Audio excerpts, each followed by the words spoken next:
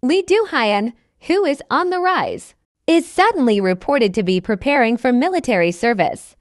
Regarding this news, Yuehua Entertainment as the agency quickly released clarification.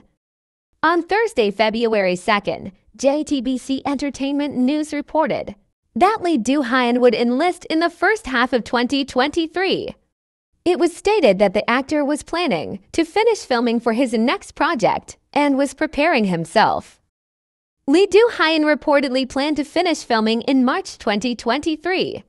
This was done so that the registration process was not disrupted. Currently, Do-hyun is 27 years old according to international age calculation standards. Regarding this news, Yuehua Entertainment claims that nothing has been decided regarding Lee Do-hyun's military plans.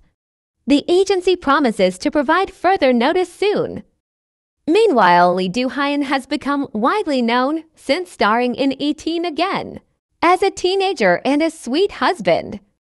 Continuing his fame, Do-hyun is gaining popularity because of his wide acting spectrum in dramas such as Sweet Home, Youth of May to Melancholia. Currently, Lee Do-hyun is involved in The Glory, whose first part has become hits since the turn of 2020 to 2023.